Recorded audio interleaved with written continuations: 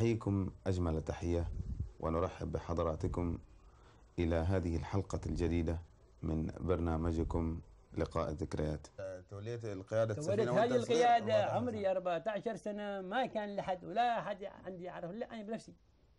أنا النوخذة أبوي علمني يعني لك ما يعرفوا البحرية كلهم في في زين وشيء لكن ما يعرفوا كلنا خشبة صغيرة وكلنا من تسعة نفوس فخشبة هي تسعة نفوس كلنا رباع البحرية وحن ما كان حد يعرف يقود سفينة غيرك لا لا لا لا ما حد. كنت أنت بس؟ كان أنا النوخذة أعزائي المشاهدين من هذا الشموخ الذي لا يدانيه سوى صلابة الإنسان من التراث الضارب بجذوره في أعماق التاريخ نحييكم تحية أصيلة.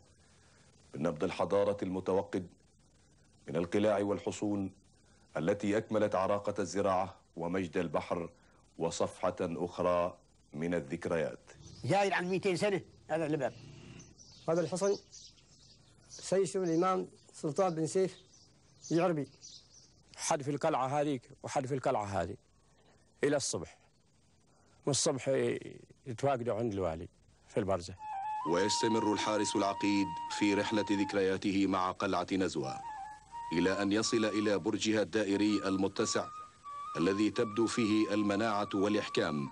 فيسترسل ثانية ويحكي جانبا من تاريخها. بنعرف اليوم عن ذكرياتك عن البحر. سافرت الهند. الهند. نعم وسافرت اليمن.